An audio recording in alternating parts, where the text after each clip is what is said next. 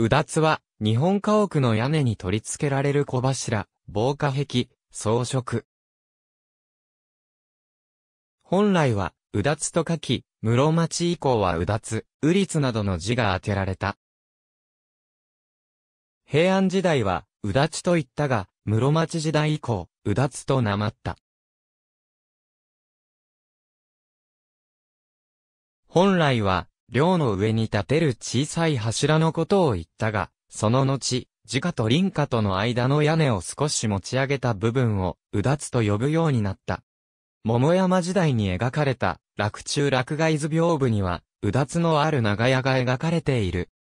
桃山時代から江戸時代初期にかけては、木製のうだつが存在するなど、当初は、防火壁というよりも屋根が強風で飛んだりするのを防ぐ、暴風の意味合いや、また装飾的な意味合いが強かった。構造として、林家と接するケラバ部分の壁を少し持ち上げ、独立した小屋根を乗せたものを、うだつと呼ぶようになった。さらに、本うだつの下場が、平側の1階屋根と2階屋根の間の部分にまで、張り出すようになり、その壁部分が小さい防火壁として独立し、これも、うだつと呼ぶようになった。町屋が隣り合い連続して建てられている場合に、林家からの火事が燃え移るのを防ぐための防火壁として作られていったが、江戸時代中期頃には、装飾的な意味に重きが置かれるようになる。事故の財力を誇示するための手段として、上型を中心に商家の屋根上には競って、立派なうだつが挙げられた。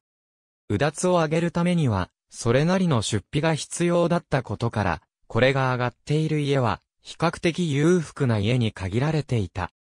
これが、生活や地位が向上しない、状態が、今一つ良くない、見栄えがしないという意味の慣用句、うだつが上がらないの語源の一つと考えられている。紛らわしいもの今日うだつのある街並みは少なくなっているが、徳島県美馬市は貴重、南町や徳島県剣町貞光、岐阜県美濃市美濃町などでは、うだつを地域の象徴的な存在として、その保存に努めている。ありがとうございます。